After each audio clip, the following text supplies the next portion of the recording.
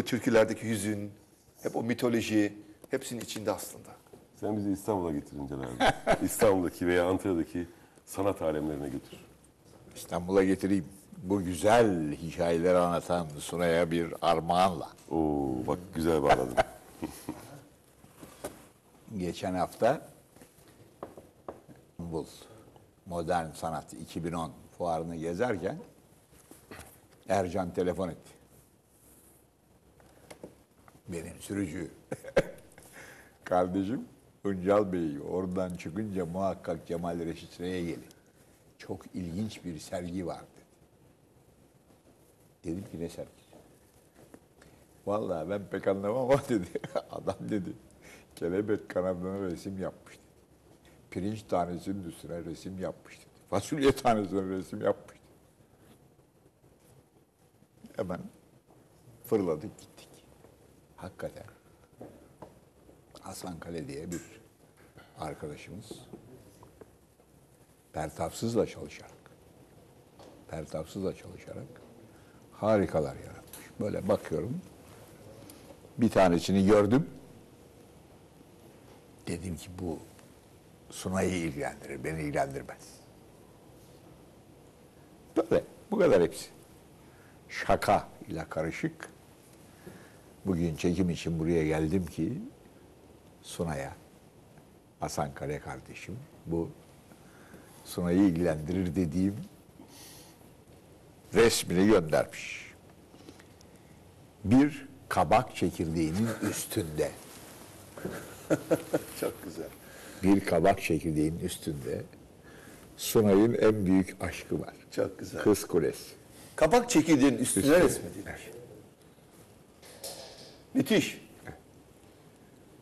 Ve Salacak kıyısında insanlar oturur kız kuyusuna bakarak kabak çekirdeği yer. Ya sen bu kabak çekirdeği yeme diye söylüyorum. Bu üstte resim Onu yapacak. Sakın ha. Lassın yersin belli olmaz diyorsun. Ha, bir de güzel imzasını da böyle mühürle atıyor.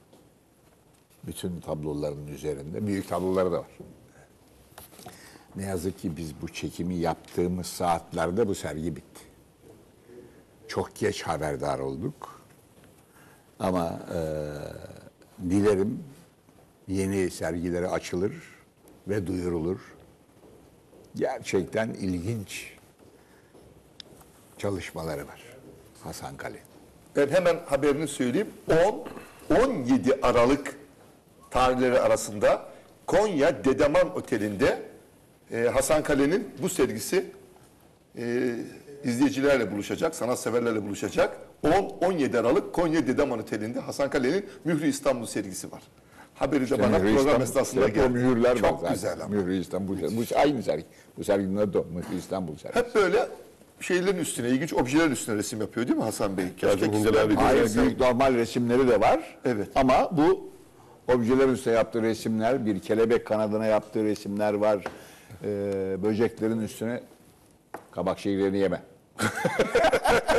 Lassın belli olmaz diyorsun. Bu yediğin en pahalı kabak çok, abi, sen orada şeyle çok teşekkür ederim. Tabii, Tabii başka türlü nasıl bakacağız? Evet. Çok çok güzel. Biz Kiev'de gitmiştik değil mi Sunay'cığım? Kiev'de de Kiev'de bir böyle mikro, müze var. Mikro resim müze, müzesi Müze. var. Yani bunları e, kültüre bir turizme dönüştürüyorlar. Aslında neden İstanbul'da ya da Türkiye'nin Bak, başka bak. bir şehrinde olmasın?